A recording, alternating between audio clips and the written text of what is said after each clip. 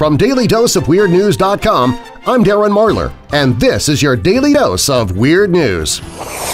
Be sure to join me for my first official live chat on YouTube. It's coming up this Saturday, May 6th, 3 p.m. Central Time. That's 4 p.m. Eastern, 1 p.m. Pacific.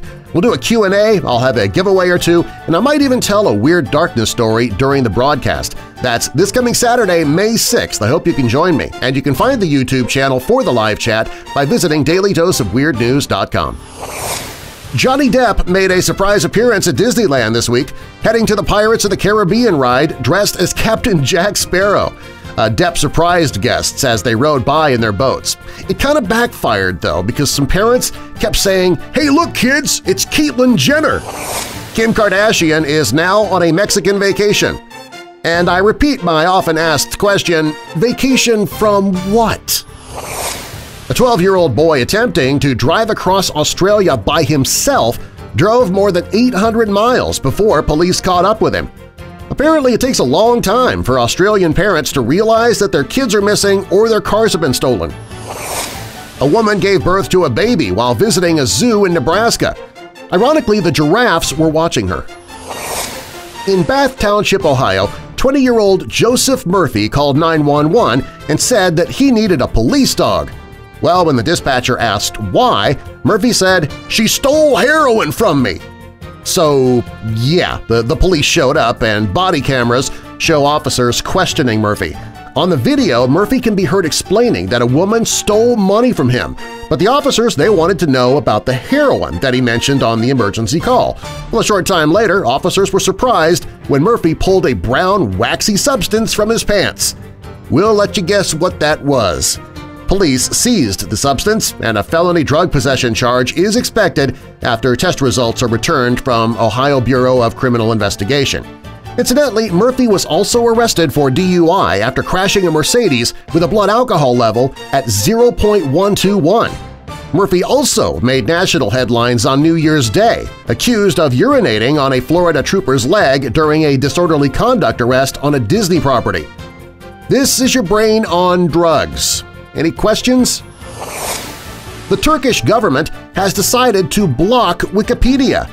So there are now millions of Turkish citizens walking around trying to remember the name of that actress in The Breakfast Club. What was her name again? In Goodyear, Arizona, 49-year-old Daryl Ingram was charged with child abuse because police say he used a stun gun on his son multiple times. Why? Well, the 11-year-old boy didn't do his homework.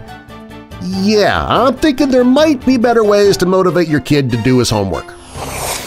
The Pittsburgh Pirates have cut the league's first Lithuanian player and replaced him with the first African. And the shouts of racism begin in three, two, one… In a Silicon Valley parking lot, 41-year-old Jason Sylvain tackled a security robot allegedly drunk at the time. Uh, him, that is, not the robot. Mountain View Police Department spokesperson Katie Nelson said an employee for Knightscope detained Sylvain before officers got to the scene.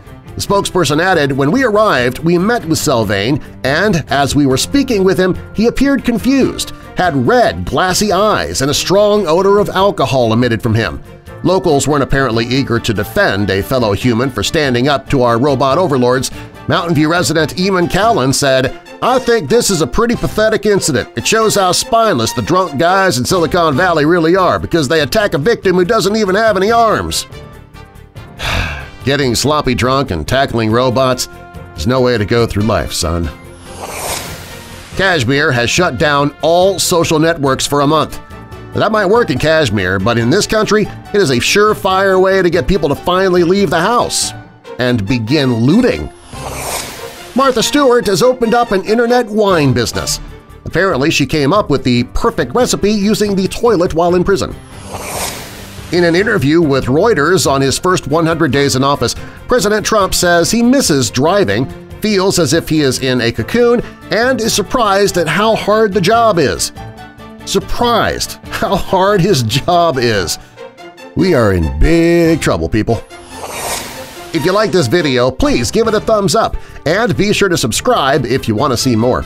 and click that little bell next to the subscribe button to be notified when I post new videos. And if you're already an official weirdo, please share this video with your friends. For more weird news anytime, visit dailydoseofweirdnews.com.